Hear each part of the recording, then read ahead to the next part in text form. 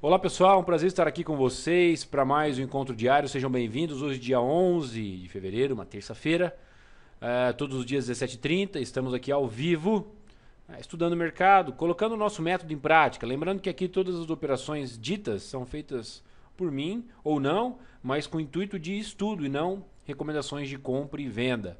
E para participar, pessoal, é muito simples. Basta acessar o nosso site, equipetrader.com.br. Às 17h30 estamos ao vivo. A única coisa que vai pedir para vocês é um cadastrinho no nosso site. Então, entre no nosso site. Primeira coisa, faça um cadastro. Né? Ah, mas eu não posso assistir tal. Não tem problema. E é importante que você faça o cadastro para que você possa acessar nossa área restrita. Né? De cara, já pode assistir uma aula gratuita, já tem acesso aqui ao menu Aprenda, onde você tem acesso a programas, apostilas, planilhas, tudo de forma gratuita. E quando quiser assistir o um encontro diário às 17h30, já tem o cadastro bonitinho, prontinho, para você poder participar. Os NES 17h30 para mim é complicado, eu só posso assistir depois, não tem problema. Lá no nosso site mesmo já tem um caminho, né, um atalho aqui para você ir para o nosso canal no YouTube. Clicou aqui, já entra no nosso canal no YouTube, que é youtube.com/barra Osnei José. Clicou aqui em vídeos, já tem todos os vídeos de todos os encontros postados aqui, né? O de ontem, anteontem, por aí vai, ok? Aqueles vídeos que nós fazemos também de perguntas e respostas, que é esse aqui que eu apareço, tem um monte de vídeo lá bem bacana, bem legal para vocês poderem assistir, ok? Sejam todos bem-vindos. Uh, a ferramenta que eu utilizo aqui, Home Broker, é da corretora Rico, ok? É, o gráfico, nós estudamos os gráficos, né? Então eu opero pela corretora Rico por intermédio da HR, agente autônomo de investimentos, do meu colega, do meu amigo Hamilton Ribas, por isso que se chama HR. Ele não está presente, ele costuma participar do nosso encontro todos os dias, né? Faz uma participação, mostra as ferramentas e como abrir conta, belezinha. Ele está de férias, mas eu aqui falo então, né, da, da, da empresa que tem nos atendido muito bem. É a empresa que nós indicamos para os nossos alunos. Né? Todo mundo precisa de uma corretora, não tem jeito. Então dê uma olhadinha aí, uma empresa parceira da Equipe Trader. Aqui no site da HR Investimentos tem no menu Abra sua conta, aqui você tem todas as informações para você também poder ser assessorado pela HR Investimentos. Clicou ali no Abra sua conta, já tem todas as informações. Vocês não podem de, é, esquecer, né? Não pode é, esquecer de colocar HR Investimentos no campo lá como conheceu a corretora. Porque a corretora é a Rico. A HR é um escritório de agente autônomo, é quem faz o atendimento nosso. Ok? E assim como a HR, existem outros. Então, durante a abertura da sua conta na corretora Rico, vai perguntar como que você conheceu a corretora. Aí vocês vão ter que lembrar de colocar HR para que vocês possam ser atendidos pelo Hamilton Ribas, parceiro aqui da Equipe Trader. Tá bom? Muitos benefícios, muitas coisas legais, ferramentas, bem bacana, tá pessoal? Então não deixem de conhecer aí a empresa HR Investimentos, já que vocês precisam de uma corretora, né? Então deem uma olhadinha aí, tá bom? Beleza, Matheus, vamos lá então. É... Ontem foi o Matheus que fez, eu não pude estar aqui, não estava muito legal ontem, fiquei em casa o dia todo.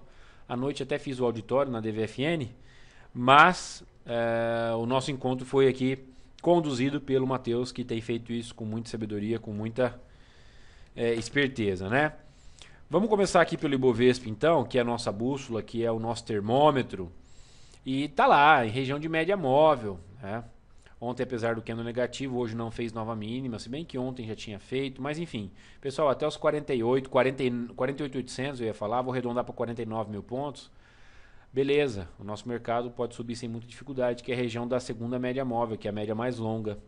Ok? Então, por enquanto, não passou de um repique ainda. É, por enquanto, esse movimento de Bovespa ainda não passou de um repique. Só vou mudar de ideia se houver o rompimento das médias ou se tivermos aqui uma correção, desculpa, uma queda, falei errado, e essa queda não faça o rompimento do fundo anterior, novamente um movimento de alta e esse movimento rompendo o topo anterior. Tá? Vou aqui colocar uma reta aqui para ficar mais fácil vocês entenderem. Ou seja, aconteceu o pivô de alta ou romper as médias móveis nesse movimento, superar a casa dos 49 mil pontos. Aí eu vou falar, ó, gente, não acho mais que é só um repique acredito numa mudança de direção. Tá? a tendência de baixa do curto prazo que vem acontecendo aí, desde esse risco que eu fiz, desde aqui, né? Essa tendência de baixa já está colocada em xeque, já não deve prosseguir. Agora, se vai operar em tendência de alta, eu não sei, porque também podemos lateralizar, que são movimentos de zigue-zague no mesmo lugar.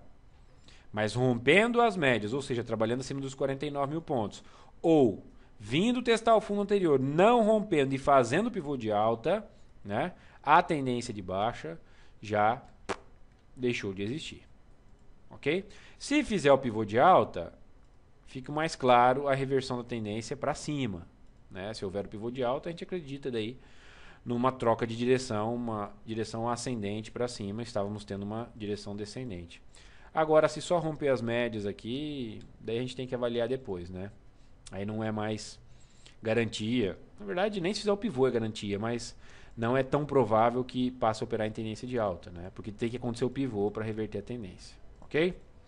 Esse movimento nos proporcionou alguns trades que eu comentei aqui em períodos mais curtos, quem participou dos cursos que nós fizemos esse ano? Teve já, Matheus? Não, né? Foi ano passado. Junção de tempos gráficos. Dia 11 do 11? 11 do 12. Desculpa, pessoal. Nós tivemos o curso Junção de Tempos Gráficos. Ou então, adquirirem os DVDs, né? O DVD, Junção de Tempos Gráficos. Uh, se vocês clicarem aqui em loja, não é fazendo propaganda não, tá, gente? É para vocês aprenderem estratégia loja, estratégias operacionais. E essa estratégia está contida no DVD Tempos Gráficos e Médias Móveis. Por quê? Matheus, coloca o estudo de caso aí pra gente. Já pode anotar o estudo de caso de hoje. Por que, que é importante a junção dos tempos gráficos? Por quê? Porque no gráfico diário foi apenas um repique, foi apenas um movimento de alta. E para que houvesse esse movimento de alta no gráfico diário, o seu vizinho menor, mais próximo, ou seja, gráfico de 60 minutos, teve que entrar em tendência de alta. Foi aí que nós aproveitamos. Ah, o Osney é louco, fala pra gente não operar contra a tendência e saiu comprando papéis aqui. Mas nós utilizamos gráficos de 60 minutos. E para acontecer este movimento, o gráfico de 60 minutos teve que entrar em tendência de alta. Teve que rebolar, teve que reverter a tendência e fazer isso aqui. Então é aquela estratégia muito bacana, que eu gosto muito, que nós passamos para vocês gratuitamente no ano passado, para todos aqueles que operam através da HR Investimentos, uma parceria que nós temos com a HR Investimentos, então fizemos esse curso para todos aqueles, né, que operam através da HR Investimentos. Teremos outros, né, para o mês que vem já tem outro aí, então mais um motivo para vocês conhecerem a HR Investimentos, abrirem conta na HR Investimentos, né, porque é um dos benefícios aí da parceria que a Equipe Trader tem com a HR Investimentos, ok? Foi muito bacana, foi muito legal esse curso, as pessoas conseguiram entender. E já vamos olhar aqui os papéis né, que nos deram essa oportunidade no gráfico de 60 minutos. Banco do Brasil acima de 20 e 90 nesse rompimento. Olha o gráfico de 60 em tendência de alta, ok? CSNA 3, já vamos botar aqui também Gráfico de 60 minutos, olha lá, também fez o pivô de alta acima dos 11,20, acima dessa linha. Foi, ontem voltou lá para os 11,20, 11,10, hoje foi para cima de novo. É, já vamos comentar também sobre essa operação. Enfim, foram esses dois papéis que ficaram mais claros aí para a gente poder fazer esse repiquezinho aí, tá bom? Vamos falar então do Banco do Brasil, que são papéis de posição. Aproveitar aqui. Podia ter falado de CSNA 3 já tá na tela, mas já troquei aqui para o Banco do Brasil. Pessoal, Banco do Brasil. Se amanhã perder 21,70, faz pivô de baixa no gráfico de 60 minutos. Ou seja, o gráfico que nos deu a condição, o gráfico que entrou em tendência de alta, se operar abaixo de 21,70, passa a operar em tendência de baixa. Ó, 21,70. Por que os NEI vai operar em tendência de baixa? Porque vai fazer aqui um pivô de baixa abaixo de 21,70. Um N de ponta cabeça. Né? Os três primeiros movimentos de uma tendência de baixa de um zigue-zague descendente. Se operar abaixo de 21,70. A compra foi 21,90. Okay, desculpa, 20,90. R$ 20,91, R$ 20,90. Stop, então, abaixo dos 21,70. Se não estiver com tanta vontade assim de garantir lucro, deixe uma margem maior, abaixo dos 21,40. Claro que se chegar no stop daí você vai ganhar 50 centavos, menos de quem deixar na casa dos 21,70, que daí vai ganhar 80 centavos. Aí vai de cada um. Claro que se você deixar 21,40 você corre menos risco de tomar violinada, mas se tomar stop vai ganhar menos. Se você deixar abaixo dos 21,70, corre mais risco de tomar uma violinada. E se der, né, se der o stop, você vai ganhar mais. Vai ganhar na casa de 80 centavos, tá? Então, fiquem à vontade aí, cada um toma a sua decisão, cada um coloca o stop dos seus estudos aí, onde achar melhor, ok? Já para garantir lucro e sair da posição, pois, muito bem visto pelo Matheus no dia de hoje, gráfico diário em região de resistência. Amanhã se fizer uma nova mínima, o diário do Banco do Brasil da venda. Ok? Ou seja, se romper o fundo anterior lá, né? Fazendo, fazendo nova mínima e tudo mais, a mínima de hoje aqui, ó, foi na casa de 21,77. Mínima, 21,77. Então, rompendo essa nova mínima, o diário da venda. E para o diário da venda é o de 60 minutos entrando em tendência de baixo. Mais uma junção de tempos gráficos. Tanto na entrada, nós utilizamos a junção de tempos gráficos para fazer a entrada, como agora na saída. É o pivô de baixo no gráfico 60 e é o sinal de venda no gráfico diário. Osnei, dá para sair vendendo e ganhar dinheiro com o mercado em queda? É, inverter a mão, né? Além de vender a posição que eu tenho, entrar vendido, pessoal, tem quase uma relação risco-ganho. Até dá para tentar, né? Vai dar uma relação risco-ganho aqui do que, Matheus? 2,4.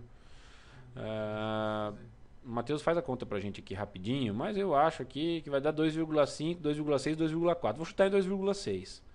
Não é ideal, né? O método pede para que seja pelo menos 3 para 1, mas de repente para quem fez a compra ali, né? Pode ser uma tentativa, ok?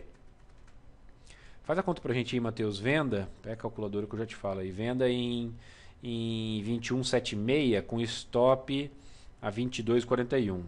Menos 22 e 40 e... Tá, 66, porque o stop fica no 42. Então, 65 centavos, beleza. Para um ganho, é, bota aí 21,77 menos menos, menos, menos, desculpa, 21,76 menos, menos, menos 20 reais. Aí tá fácil. 1,76. Agora divide 1,76 por 65. Só pra gente ver.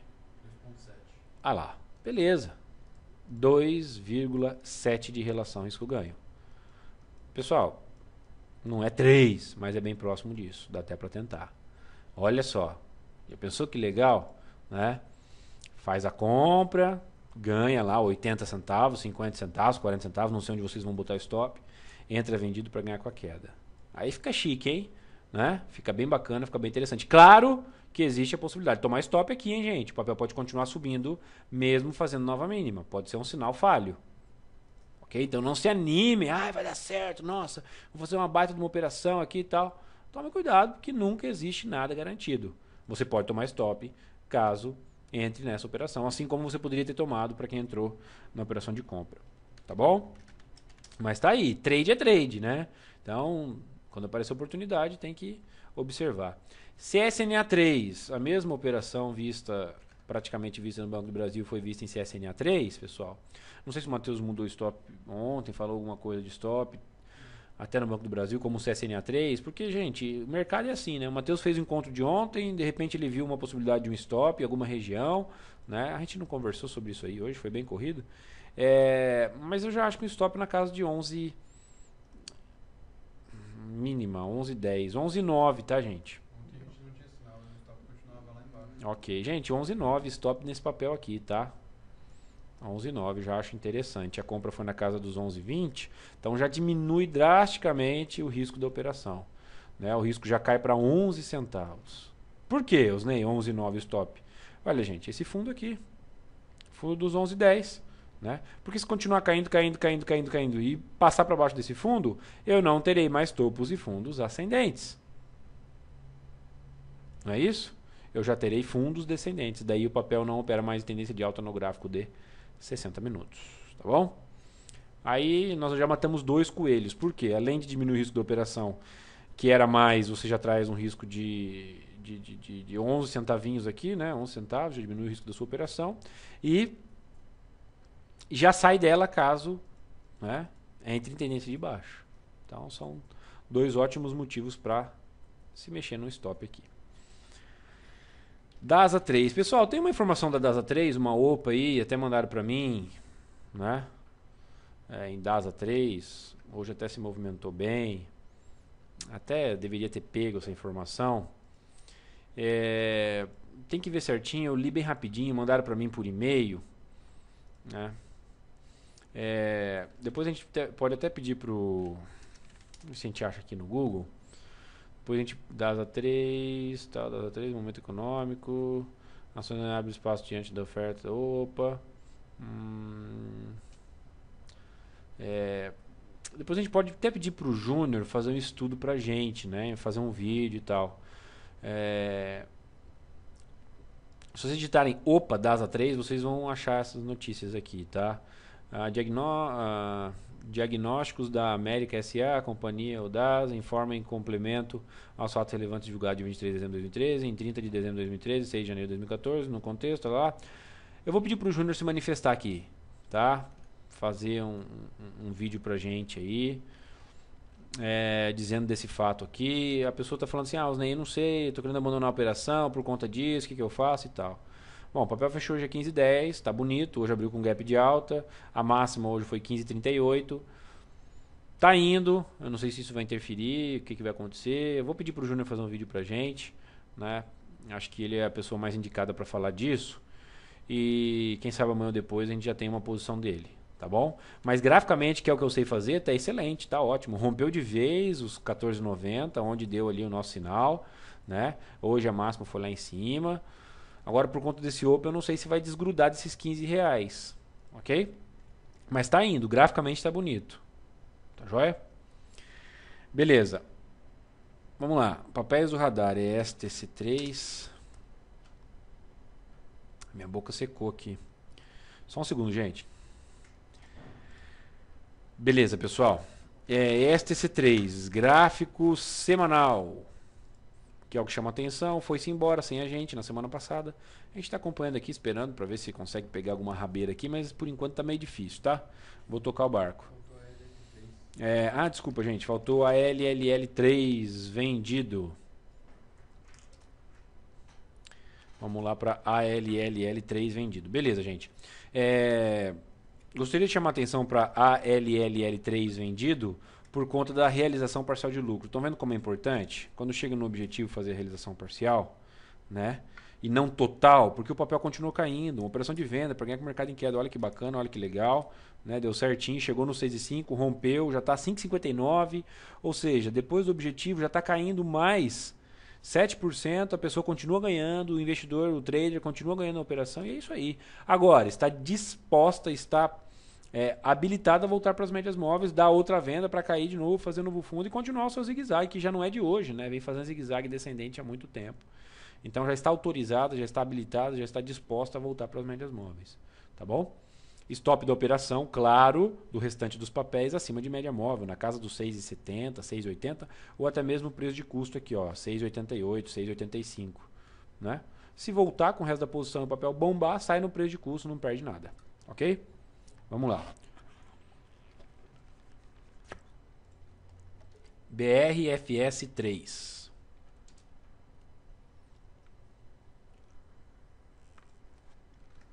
Bom, gente, a gente está esperando aqui pelo menos um gráfico de 60 entrar em tendência de alta, né?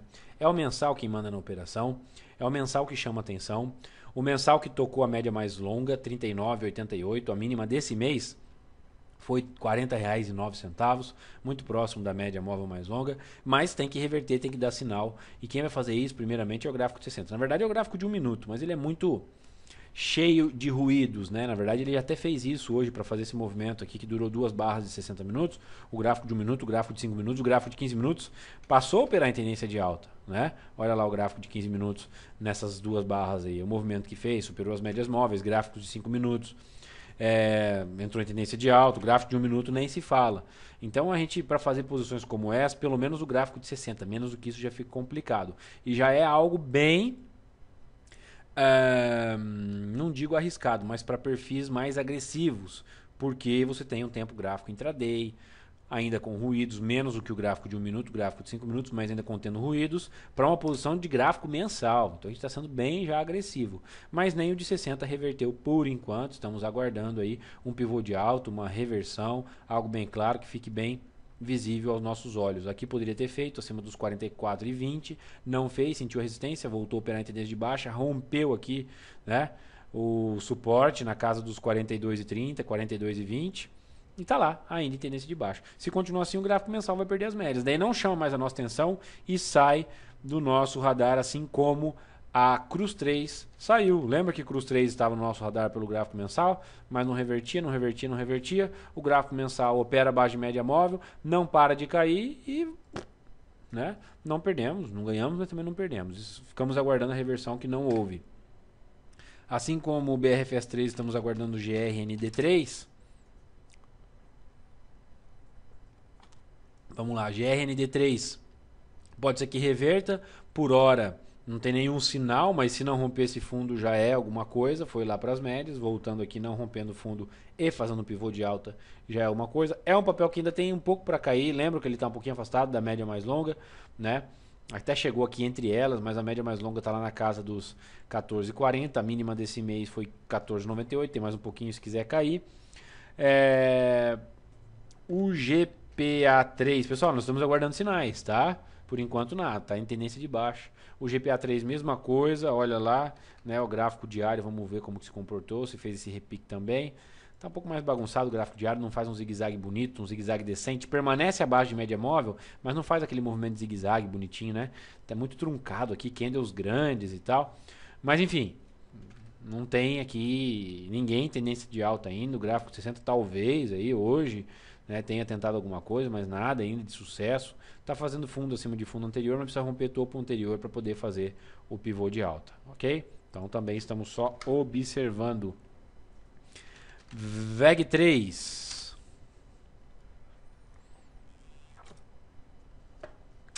VEG 3 diário voltou para as médias, o semanal passou um pouquinho para baixo das médias, né? Isso aí, e a gente espera o mensal na região das médias. Tem que também, né, ter uma boa oportunidade. Por enquanto, nada.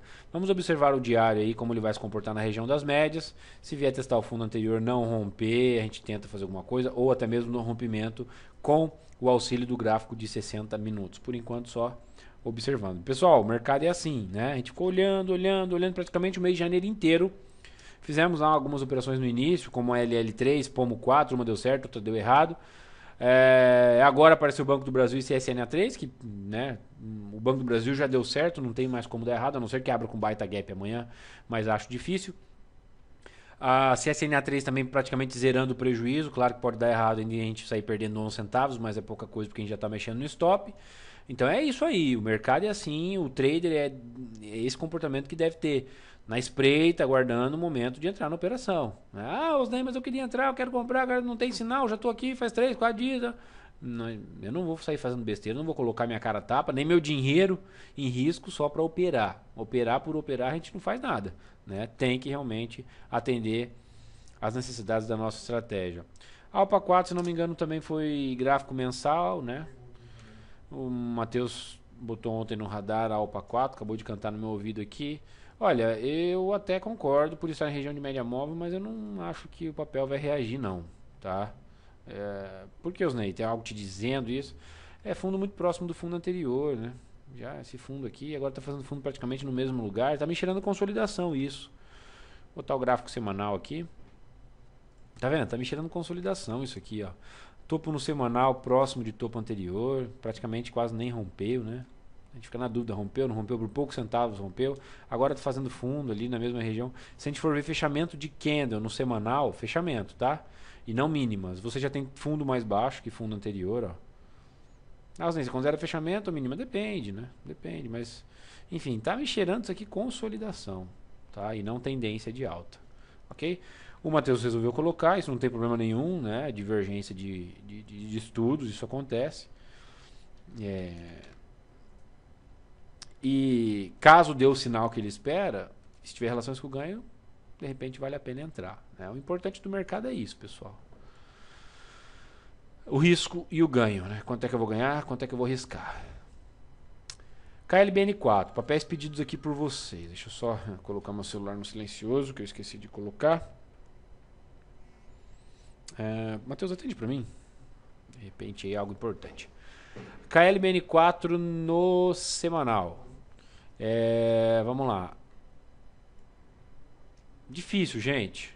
Bem difícil, bem bem complicado. Deixa eu pegar aqui um bloco de notas enquanto o Matheus não está aqui, beleza. KLBN4 um pouco complicado. Por quê? Mensal. Tem um topo aqui atrás, que é esse topo aqui. Veio para as médias móveis. Olha, pelo mensal, pela nossa estratégia de junção de tempos gráficos, aqui deveria ser a nossa entrada. A gente até observou, a gente até olhou, não me lembro qual foi o final do nosso namoro com a KLBN4. A gente olhava a KLBN4 para essa compra, foi um pouco difícil, né? A gente não conseguiu, acredito eu, entrar na operação. Mas agora, gente, eu acho bastante complicado, tá? O papel está bem bagunçado, ok? Vamos lá. É... Hum, BRKM5. Então vamos lá para BRKM5.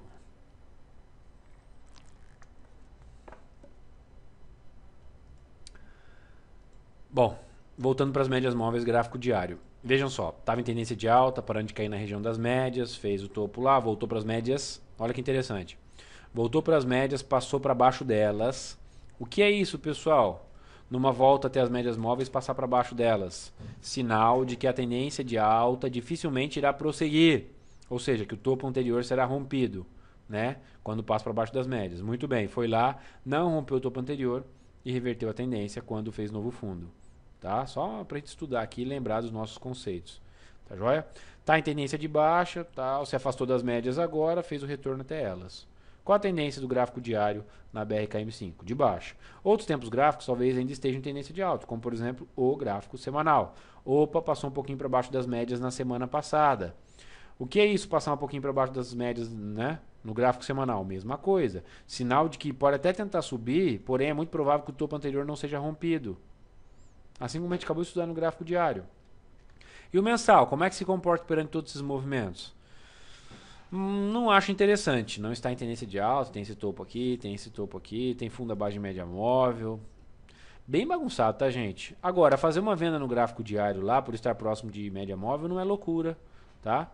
Vamos ver como vai se comportar aqui. Tem que parar de subir e sinalizar queda, sinalizar, fazer novas mínimas, parar de fazer novas máximas para testar o fundo anterior. Assim como a venda em ALLL3, mas daí seria para ganhar com o mercado em queda. Semanal abaixo de média móvel, mensal bem bagunçado e diário em região de resistência sinalizando fundo aí. É, topo, desculpa. Claro que ainda é nenhum sinal, mas se pintar algum sinal aí, de repente dá para fazer uma venda. Pode colocar no nosso radar, Matheus, BRKM5 no radar para venda pelo diário, tá? Assim como o Bradesco também. Pode incluir Bradesco na listinha de venda no gráfico diário. Tendência de baixa no gráfico diário, ó, não fez novo topo, rompeu o fundo anterior. Isso é importante você frisar sempre, gente. Porque sempre você tem aqui o sinal da reversão. Ou é topo duplo, né? Ou é aquela passagem para baixo das médias móveis, para depois ir lá e testar. E essa passagem das médias móveis, né, passagem para baixo das médias móveis já denuncia que é possível e que é provável que não faça o rompimento do topo anterior. Aqui no caso não teve aquela passagem. O que nós tivemos? topo na mesma altura e depois o pivô de baixa, aqueles três movimentos iniciando o zigue-zague descendente. Topos e fundos descendente, topos e fundos descendente, se afastou das médias, voltando para elas até agora. Assim que fizer a nova mínima, sem que faça nova máxima, teremos sinal de venda em Bradesco. Vamos dar uma olhada em outros tempos gráficos para ver se há algum impedimento para entrar vendido em Bradesco.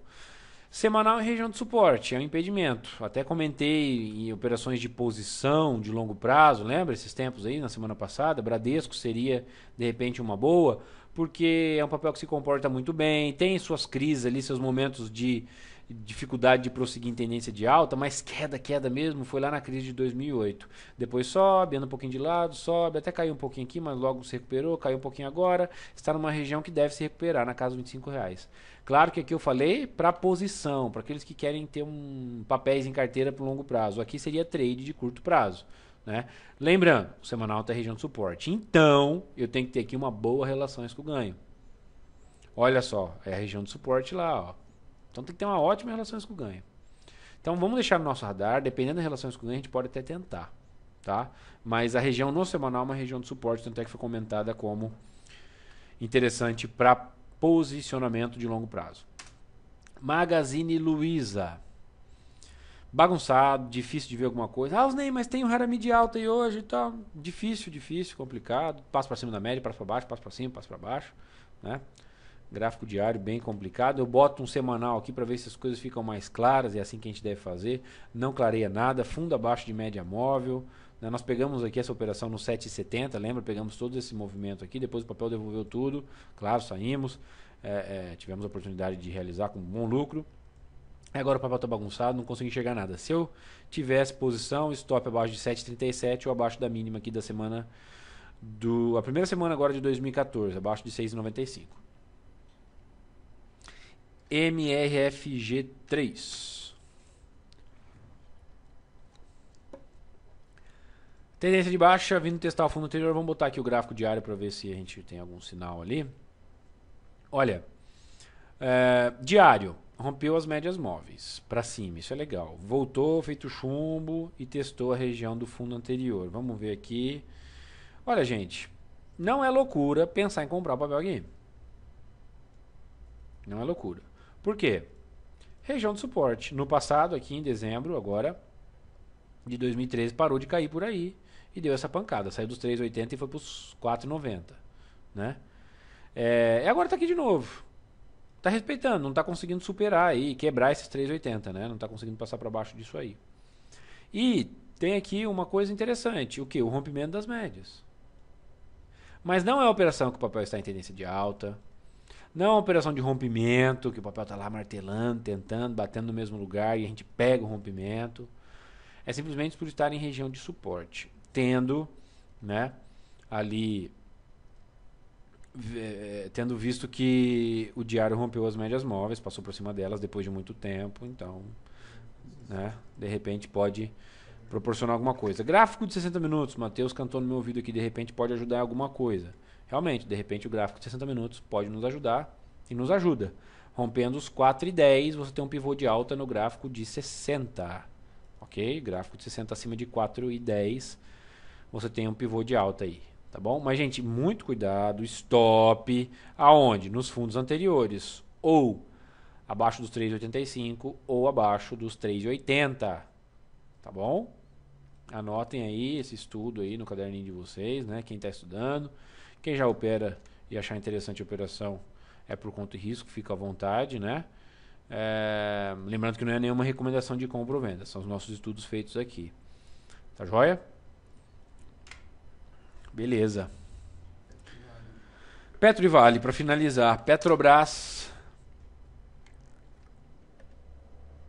Voltando para as médias. É, Osnei, dá pra vender aí? Igual Bradesco, gente. É uma região de suporte importante, tá? Não é um lugarzinho qualquer que a Petrobras veio, não. É, fundo do lado de 2008. Então, assim, vai romper? Podia pedir pra eu chutar. Eu chutei. Eu chuto que vai. Eu chuto que isso aqui vai ser rompido, tá? Tô chutando, gente. Porque não, enquanto não for rompido, eu não posso dizer isso. Só que... Ah, Osnei, um martelinho no gráfico mensal. Gente, hoje é dia 11 ainda.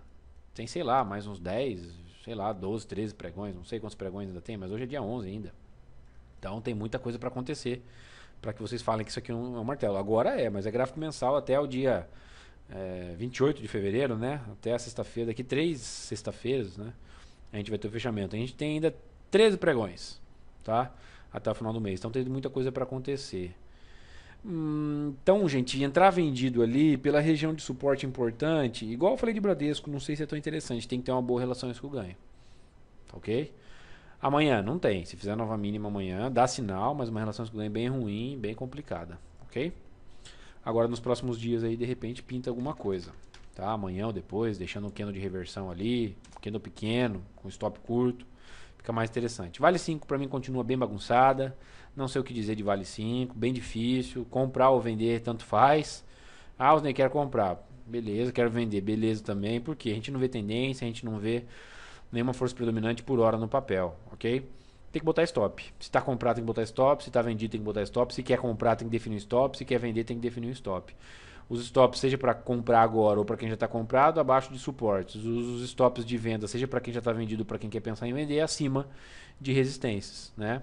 Então, topos anteriores, fundos anteriores servem como escudo, proteção e é ali que nós colocamos, programamos os nossos stops, tá bom? Eu vou ficando por aqui, gente. Já são 18 e 05 Eu queria agradecer a presença de todos vocês mais uma vez. Começamos hoje em ponto. É, o Matheus também está aqui do meu lado, agradece a todos vocês pela participação. Mais uma vez, entre em nosso site. Aqueles que estão querendo comprar algum curso, algum DVD, de repente é, Osney, preciso parcelar, preciso é, de um descontinho, manda e-mail para a gente, atendimento.equipetrader.com.br. O pessoal pode negociar com vocês, tá bom? E cadastrem-se. Entrou no nosso site, faça cadastro. Qualquer promoção, qualquer novidade, a gente entra em contato com vocês para aqueles que já têm cadastro, tá bom? Um abraço, e com Deus e até amanhã.